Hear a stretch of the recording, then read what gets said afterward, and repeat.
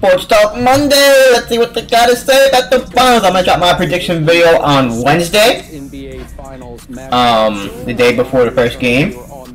I need all the all the info I can get to make my decision. I'm still undecided. Now I'm kind of am, but not 100% though. I got the Celtics in six, Skip. Okay. Uh, I thought maybe you'd go four. no, no, I, I, I got respect for Dallas and you know Luka and Kyrie. You know they're pretty good. They're, they're Mm. actually pretty good. They're pretty good. Yep. You know, but I just think the reason that the Celtics will win the NBA Finals Why is that? when you look at the heartaches that they've been through. I mean, they they've been through the pain, they've been through the struggle. They've been to the conference final the last three years. They have the Or making four now, right? I think Including they this year? understand the moment no? a little more than Dallas, being that this group has been there as a core. You know, Holiday has won a championship, so that's awesome Hmm. to have him in the locker room. Brown and Tatum have been to the finals. They understand the moment, and they understand that this now or never, because you, you can't Yeah. guarantee yourself getting For me, it's it. They- you, you can hear The best matchup for like, Kyrie and Luka and whole NBA back with here. Holiday and White, and then they have JB, Tatum, and Porzingis, so it's just like it's tough. You man. never know what's going to happen. Injuries, anything can They have to have happen. a better bench though. Well, the reason why is because Dallas, as great as they are, the role players are great. I just think we're the deeper team. Hmm. I think Dallas's two superstars have to play great every single night Hmm. for them to win. On the flip side, there's times when Jayson Tatum hasn't played well. There's times Brown hasn't played well. They still know how to win. Yeah. When you got guys like Jrue Holiday, Derrick White, who could be good enough to win Finals MVP. Sheesh. I can't say that on the other side for Dallas. It's going to be Luka if they win. It's going to be Kyrie. It's going to be one of the two. Mm. There's been times Derrick White has been our best player in the series. Damn. There's been times Jrue Holiday has been the best player on the floor. So when I look at top to bottom, I just feel like the Celtics got? are a little bit deeper, and that Dallas doesn't have a lot of room for mistakes. You know, because if Dallas is at their best, I'm not sure they can beat Boston.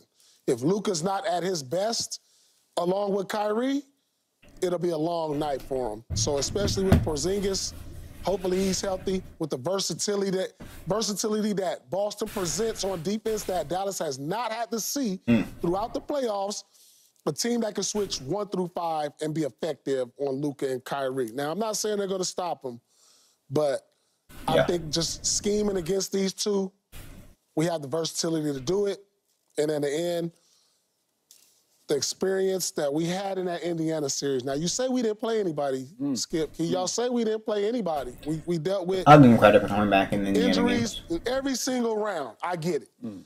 But we've been in situations versus Indiana, especially to where we've been down and we figured out a way to win close games. So they've shown me all, they check all the boxes I say a championship team needs to have. They showed me grit, they showed me toughness, they've shown me that they can come back in a close situation. And, and these are things that you, you, you, you look at when you get into a championship series. And so, in saying that, I'm close to saying Celtics is five, but I'm gonna say Celtics is That's what I six. thought.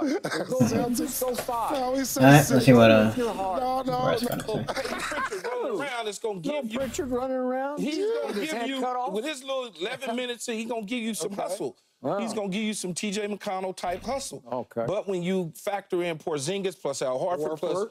Horford's coming Tatum and the plus now. Brown and plus If Jrue Holiday, I mean, it's just They're getting Porzingis back, but they've done this with all without Porzingis too. They've had everyone's saying that you know it's been a cakewalk, but they didn't have had Right now Porzingis. to play in game one. yeah. That's so even if he last. even if he didn't I'm gonna play in game one, Skip, even if he didn't play in game one, he'll be back at some point in this series. Oh. So when you look at it, as I've all since this has come up, I've counseled out Luka and I've counseled out Kyrie with Tatum and, and Brown. Just counsel that out.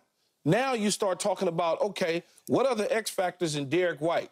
who matches up with that as an X factor for the Dallas Mavericks, or who who matches up as an X factor for Jrue Holiday, or who matches up from an X factor standpoint if Porzingis plays mm. and Al Horford? So when you start looking at it, you say, well, they can they can stick the little young kid Dereck Lively in there. He's got too much explosiveness for Al Horford type. I just love the Kyrie Well, versus Boston and then Porzingis versus the Mavericks. But Al's smarter than him.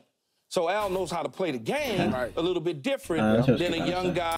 And Maxi Kleber has been there and done wanna pick the all that, Mavs. and he's back, and he seems like he's healthy. What has Kleber and, done? And Been where? Okay, but but he he's been there for a long time. like he's made a bunch, last game. He's made Yeah, a like, bunch where of big been? three point shots for them in his time. He was doing decent before he got injured. And That Dante Clippers series, he Exum comes decent. in and just plays basketball at a high, hard level. And there's this kid named Tim Hardaway Jr. And I don't Kid, know he's what's been in the happened to league for a him, but he is definitely can't see a the floor. He can't see the floor. He hasn't seen they the floor give. for a while. Can't talk but I about that just like have that. a I'm out of here. Let me know who you got, man. I'll drop my position video Wednesday.